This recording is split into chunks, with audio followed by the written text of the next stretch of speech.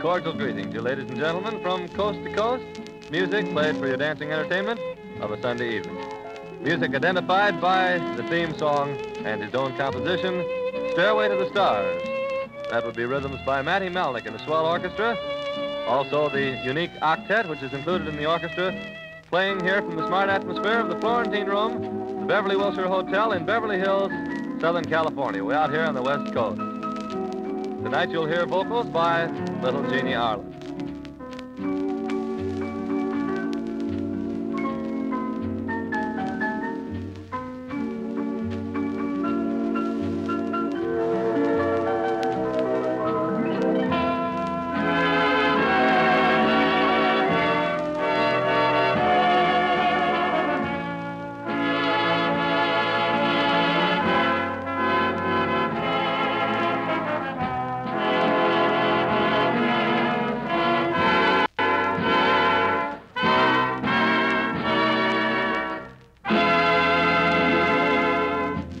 And Matty Malneck presents first Jean Arlen. She's going to sing Cole Porter's tune from the picture Broadway melody of 1940, I've Got My Eyes on You, Matty.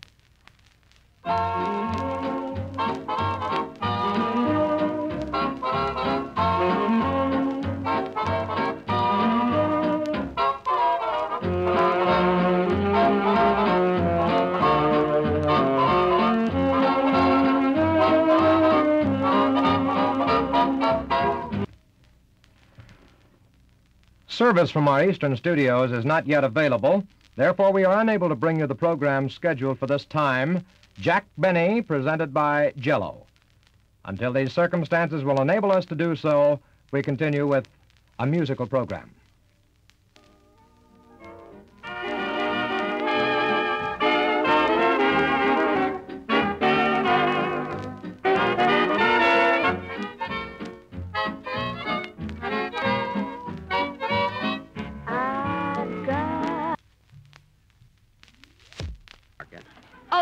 You, Mr. Peters? This is Mary, remember? Oh, I'm fine. Say, Mr. Peters, remember that time you sold me the rump roast with a girdle on it? Mary, hurry up and get your mother. Uh, will you call Mama, please? Okay, I'll wait. How do you like the cake, Mr. Benny? Oh, it's swell, Dennis, and the candles are all lit, aren't they? Well, blow 'em out, Jack. It's your anniversary. Okay. Hold it steady, Dennis. Here goes. Hmm. Well, you got one of them. Yeah, hold it closer, Dennis. Here you are. Darn it. Hello? Oh, hello, Mama. This is Mary. Look, Mama, I won't be able to come over tomorrow because we're leaving for Hollywood. Gee. Yes, first thing in the morning. What's the matter with me? I, think. What's that, Mama? Oh, that's Jack. He's got asthma. I haven't got asthma. I'm trying to blow out these candles. Well, I'm ashamed to tell her. I'll get 'em. Don't worry. Listen, Mama, couldn't you come into New York tonight? It's the only chance I'll get to see you. See 'em flicker, fellas?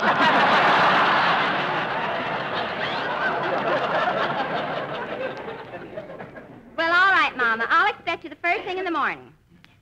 What? Oh, you saw Buck Benny rise again last night? Well, how do you like Jack as a cowboy? Oh, Mama, he does not.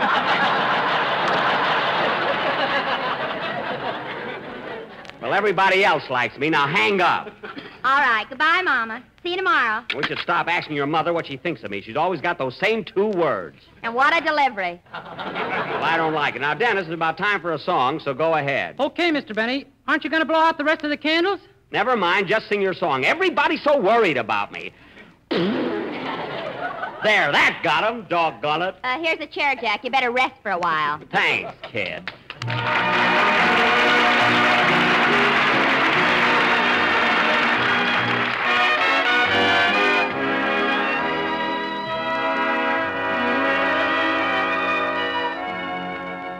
Somewhere there's music, how faint the tune.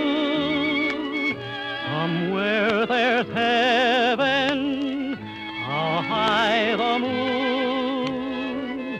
There is no moon above when love is far away too, till it comes true that you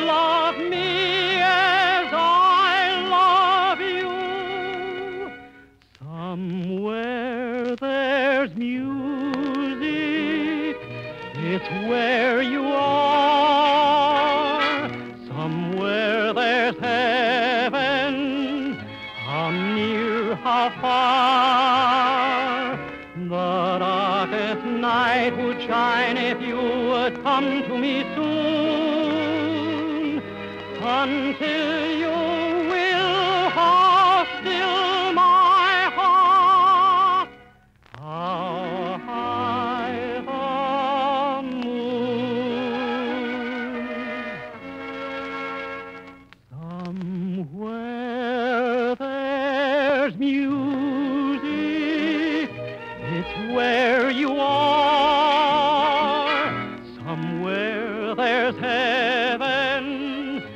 near, how far. The darkest night would shine if you would come to me soon. Until you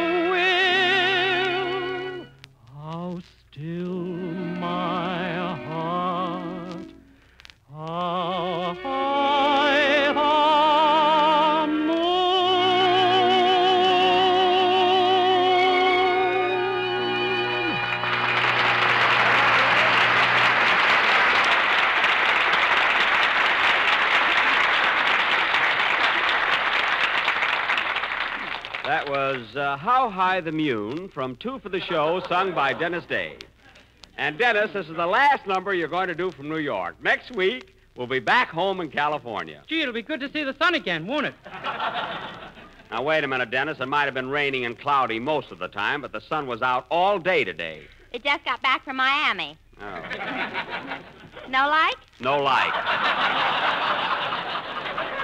Believe me, no light. Ah. And now, ladies and gentlemen, as we announced last week. Hey, Jackson, how do you spell St. Moritz? Never mind, I'll take you there. Heavens. And now, ladies, and- and Phil, next time stay at the YMCA. It's already spelled out for you.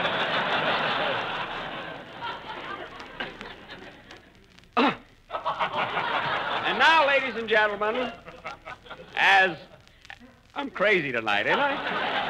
And now, ladies and gentlemen, as we announced last week, tonight, the Benny, We Can Dish It Out, Can You Take It players, will present their version of that well known Wednesday night taffy pull, The Fred Allen Show, The Hour of Smiles.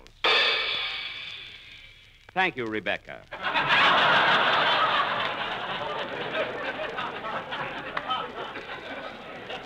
Now, being a martyr, I will play the most unattractive part, that of Mr. Allen.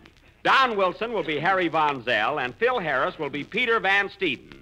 Do you think you can handle the part, Phil? I don't know. I'm a little more intelligent than Van Steeden. Oh, you are? Well, why don't the two of you get together and spell St. Moritz?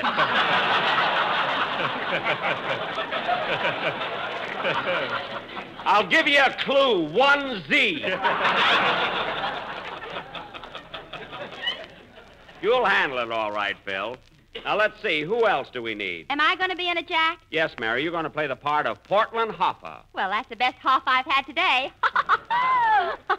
Mary, let's not get into Allen's type of material too soon.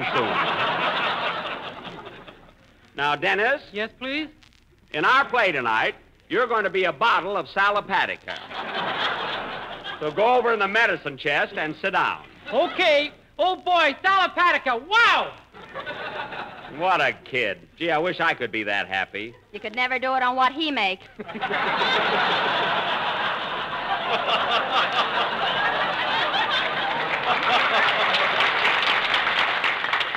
That's so.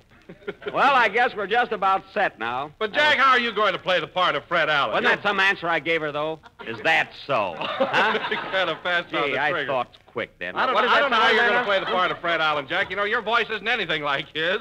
My voice is not like Fred Allen's. Well, Don, All I have to do is put a clothespin on my nose. I've got one right here. And now, folks, this little satire will go on immediately after the next number, which will be played by Peter Van Harris and his Dead Panna Troubadours. Hit it, boys.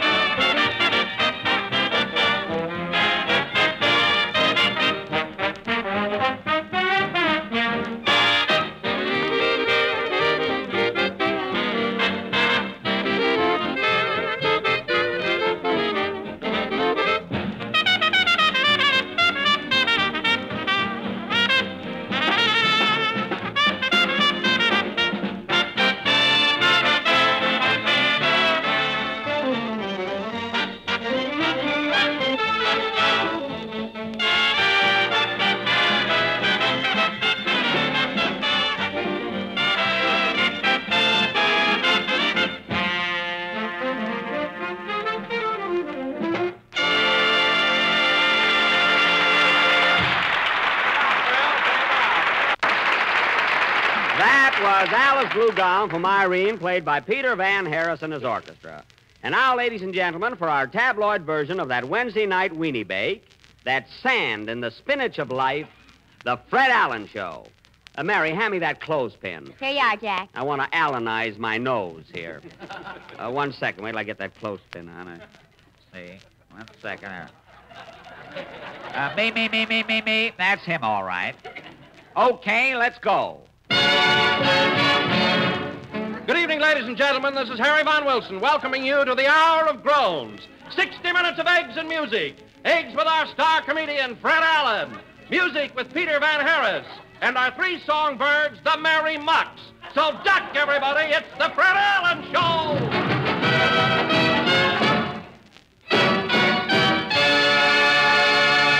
And now, ladies and gentlemen, here's the man you've all been waiting for, the pride of Boston, that New England boiled comedian, Fred Allen in person.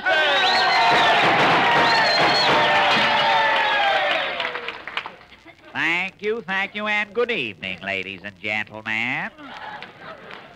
You know, Harry, a funny thing happened to me on the way to the studio tonight. Ho, ho, ho, ho, ho. I was walking down Sixth Avenue, and a panhandler asked me for a dollar bill for a cup of coffee. A dollar bill. Yeah. He claimed there was a hole in his pocket and a coin would slip through. Ho, ho, ho, ho.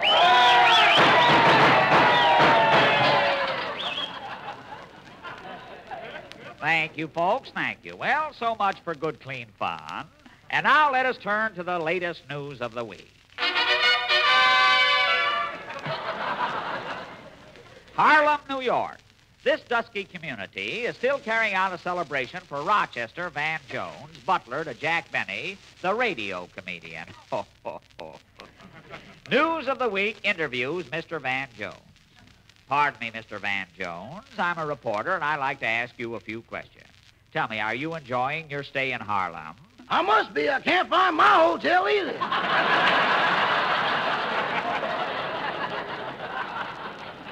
I see. Now, Mr. Van Jones, I understand you're in the employ of a Mr. Jack Benny. Is that correct? I work for him, all right. Now, what sort of a man is Mr. Benny? He's very pleasant, very pleasant. I see. Well, is he hard to get along with? Oh, no, sir. He's the finest man I ever met. Pure gold, pure gold. Uh-huh. Now, there are rumors, Rochester, that Mr. Benny is rather tight and you have trouble getting your salary from him. Is that true? Oh, no, sir. He not only pays me handsomely, but frequently. I see. And you're sure all of this is the truth? Definitely. Well, That clothespin don't fool me none.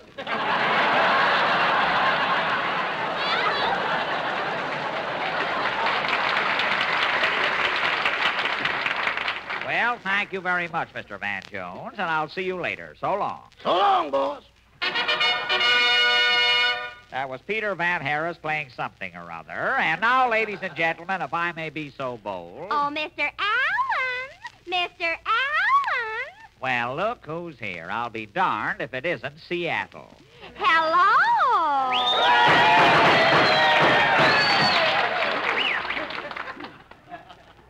Well, that's quite a reception you got, Tacoma. What's on your mind? Oh, Mr. Allen, the funniest thing happened to me on the way to the studio tonight. I was walking down Sixth Avenue and a panhandler asked me for a nickel. Only a nickel. Yes, he had his pants fixed with that dollar you gave him. Well, that's very funny, Hoboken. and I wish this eagle would get off my hat. Shoot. Now, what about our guest tonight? He's right here, Mr. Allen, and his hobby is a most unusual one. A really? as long as I could hold that one. Huh? Yes, this gentleman is an amateur street cleaner. Well, that's very interesting. How do you do, sir? Hiya, chum.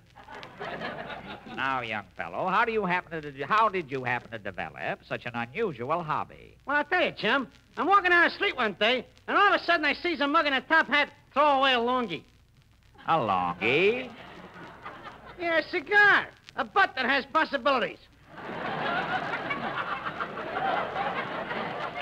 I see. So I picks it up, and I've been doing that ever since. Oh, you're a bum.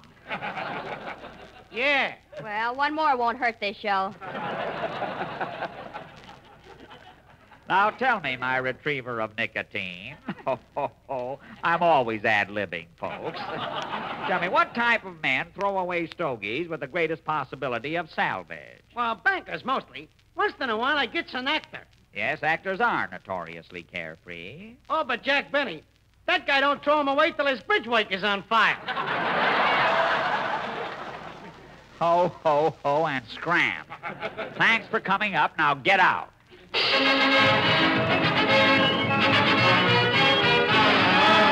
Quaint fellow, wasn't he? Now, Harry, Yes, Fred. as the farmer said to the horse thief, ho, ho, ho, ho, ho, ho, uh, where's my plug? Ladies and gentlemen, we now take you to a typical American home, the husband speech. Oh, Lulu, where's that tube of Ipana? It's right there, honey. Right behind that bottle of sal hepatica. There's nothing behind me. Dennis, screw your top on.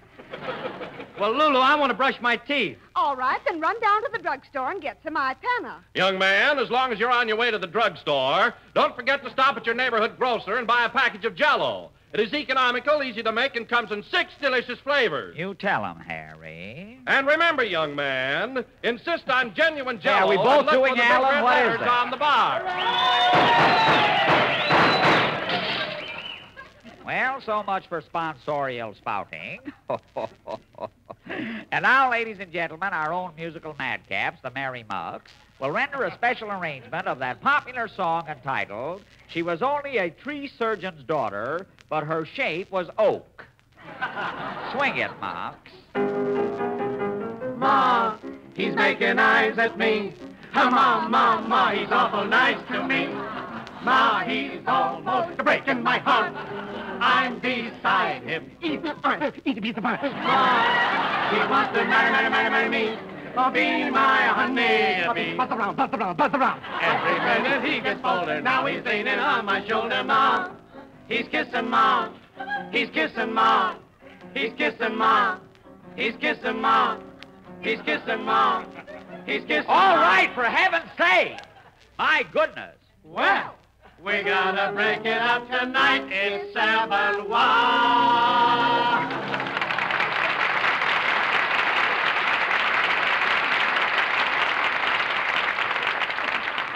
That was Ma, He's Making Eyes at Me, sung by the Merry Mucks. And now, ladies and gentlemen, oh my goodness, look at that man in the control room waving his finger at me. Our program is running overtime, folks, but that always happens. I ad lib like mad. But we still have a few minutes left for the question of the week.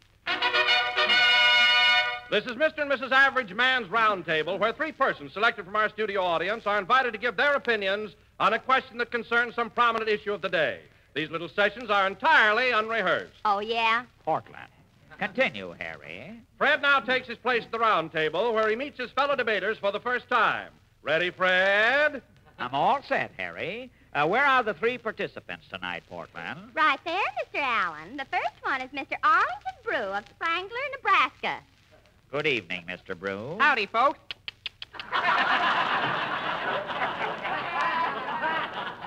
Well, Our next guest is Miss Ruby Stevens of Bombshell, New York. well, glad to hear, glad to have you with us, Ruby. Who? Oh, Ruby Foo. Ain't I clever? Now, uh, who's our third guest, Porty? The name is blurred here, Mr. Allen. I can't make it out. Oh, yes. What's your name, Mr. Mr. Jerk Finkel. Oh, fine. Yes, the name is Logan Jerk Finkel.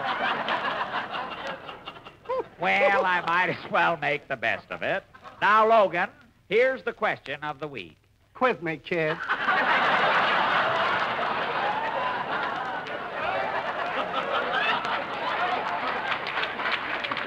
All right, here it is. Do you think the National Labor Relations Board presents the optimum hope for the. Oh, my goodness, there's that man in the control room again. With all my ad libbing and everything, I suppose we won't have time for the question. Well, I'll find out. Have we got time for the question, Tommy? I don't know. Hey, Eddie, have we got time for the question? I don't know. Hey, Bill, have we got time for the question? I don't know. Hey, Sam! Let it go, let it go. I forgot what it was anyway. My goodness, play, Peter. I must stop this ad libbing.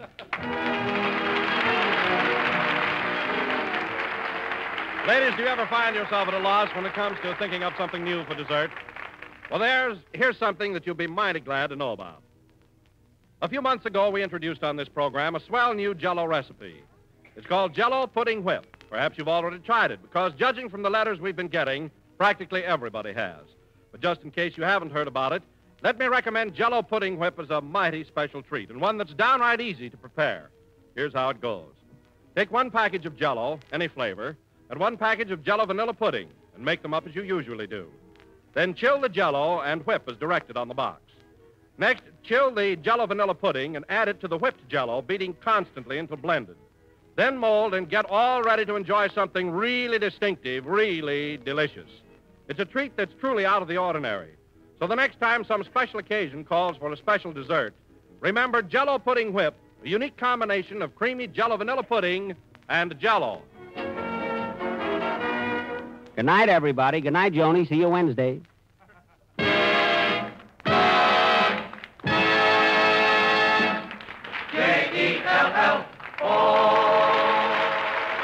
This is the National Broadcasting Company.